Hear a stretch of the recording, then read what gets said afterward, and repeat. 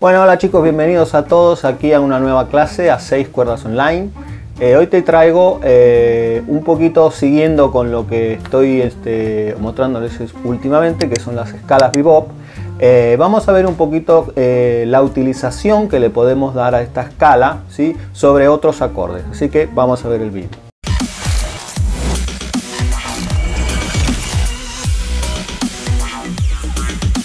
Bueno, eh, como bien dice el título del vídeo, vamos a ver este, la escala bebop, ¿sí? Eh, utilizada en otro acorde que no es el que, digamos, el del nombre de la escala.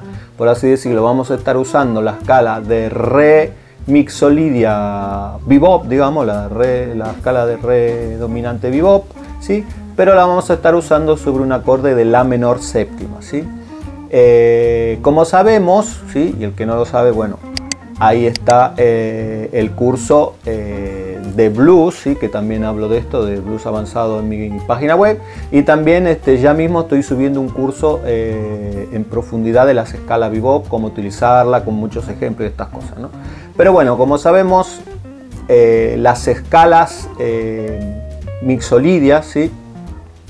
se pueden utilizar y las dóricas se pueden utilizar la misma escala eh, en dos acordes, bueno, en tres acordes, ¿no? Eh, lo podemos usar en un 2-5-1, podemos estar tocando siempre la misma escala, podemos tocar siempre eh, redórico, podemos tocar mixolidio de sol podemos tocar mixolidio de do, en el caso que estemos en un 2-5-1 de do mayor. ¿no? En este caso lo que vamos a hacer, este, vamos a estar improvisando en una base que está en un acorde de la menor dórico, digamos que sería como un segundo grado, y nosotros vamos a estar tocando todo el rato la escala mixolidia, que correspondería a ese 2-5, que, que sería un La y un Re, ¿no? para resolver en Sol. Entonces nosotros vamos a estar todo el rato tocando en Re mixolidio, pero le vamos a añadir el cromatismo que eh, obtenemos al hacer la escala bebop. Eh, la escala de re mixolidia bebop ¿sí?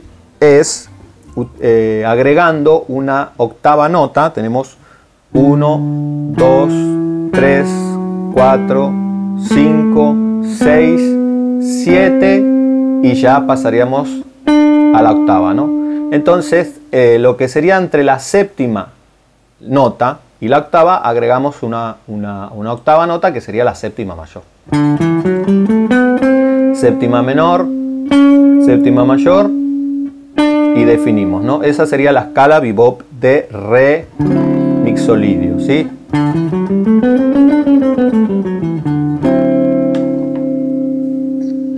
Esa escala la podemos usar tanto ascendente como descendentemente.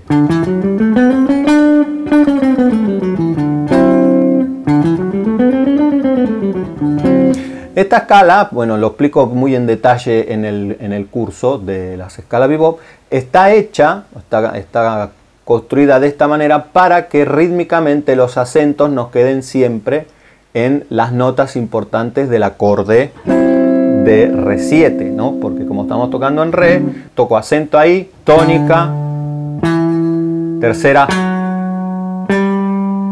quinta, séptima, y si no eh, pondría el semitono este, me quedaría la octava, ya me quedaría en un tiempo débil. Entonces se me da vuelta lo que es la acentuación, eh, digamos, como armónica de la escala. ¿no? Entonces para yo seguir este, tocando en los pesos fuertes, las notas importantes del acorde, del arpegio, tengo que agregar ese cromatismo ahí para volver a estar eh, en tiempo fuerte la tónica. ¿sí? Si yo hago fuerte, fuerte, fuerte, fuerte, fuerte, ¿sí? y tengo su tónica. ¿no? De esta manera siempre estamos tocando eh, la escala como con un peso armónico en el cual eh, nuestros fraseos siempre van a estar tocando, digamos, como con swing. Siempre eh, con un downbeat en el sitio justo, en, las notas del, arpegio. Siempre que toquen esta escala, la, manera que tienen de ver si la están haciendo bien es que la púa para abajo siempre tiene que caer en la tónica. Si yo empiezo para abajo,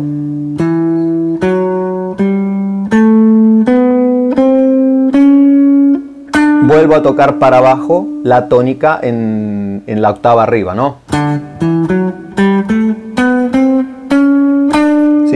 Si yo veo que al llegar a la tónica estoy con la púa para arriba, algo hice mal. ¿no?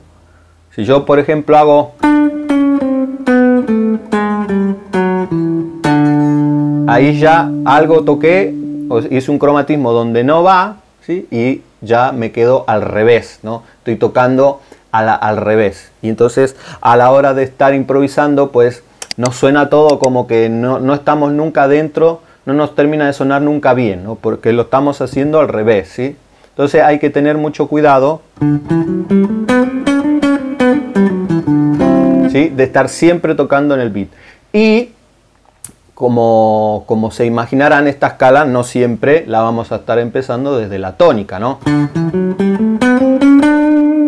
La podemos empezar desde cualquier nota del arpegio. Por ejemplo, tónica, tercera, quinta ¿sí? y séptima. ¿sí? Siempre nos va a quedar eh, con su acento en donde corresponde. ¿sí? De esta manera, practicarlo para cuando están improvisando, pues poder arrancar desde cualquier sitio. ¿no? De todas maneras, hay muchos más cromatismos que se hacen en la escala bebop, pero esto lo explico más en detalle en el curso de escala bebop, que es un poquito más extenso. ¿no? Con esto les quiero pasar un poquito eh, qué es lo que pueden hacer, qué tipo de sonido sacan, ¿sí? y una vez que controlen bien eh, las escalas en todos los tonos, ¿sí?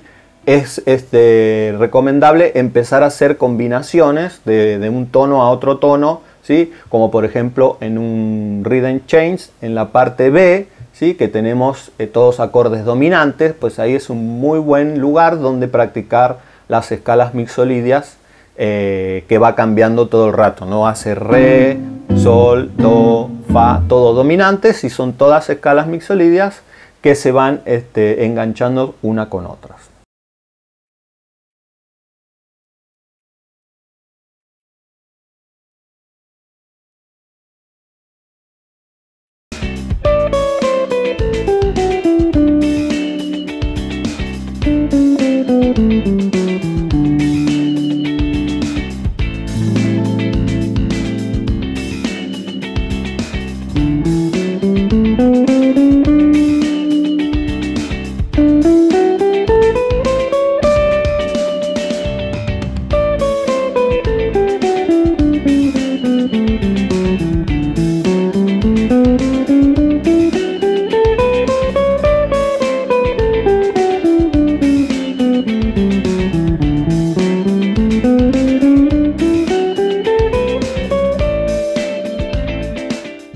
Bueno, acuérdate que lo más importante que, tiene todo esto es siempre practicar mucho y practicar y practicar. ¿sí? Eh, mi consejo es siempre quédate con la información y este, úsala hasta hartarte. ¿sí? No vayas este, buscando y buscando y buscando y buscando porque al final no te va a servir nada de nada. ¿sí? Eh, con esta información, en este caso, pues dedícate a practicar este tipo de escalas bebop pues muchísimo tiempo, busca toda la información que encuentres y bueno, ahí, está, ahí estará el curso donde lo podrás aprender mucho más en detalle con ejemplos y con frases y todo esto, pero lo más importante, practícalo mucho y practícalo mucho y sácale todo el jugo que puedas a esta información. ¿sí? Así que nada, te invito a darte una vuelta por 6cuerdasonline.com donde está el curso gratuito de blues, hay otro curso de blues avanzado y en breve estará esta, este curso también de eh, las escalas bebop. También este, podés este, visitarme en la página de Patreon donde hay otro tipo de clases, ¿sí? un poquito más específicas. Si estás interesado en clases por Skype, ya sabes, te mandamos un mail a sescuerdasonline.com y nada, si tenés ganas me seguís en Instagram y en el grupo de Facebook. Bueno, también hay un grupo de Telegram que está activo por, para preguntas y consultas. Eh, hay un vídeo en mi canal sobre, sobre Telegram para que está el enlace para entrar al grupo de Telegram. Y nada más chicos, un saludo y nos vemos la semana que viene.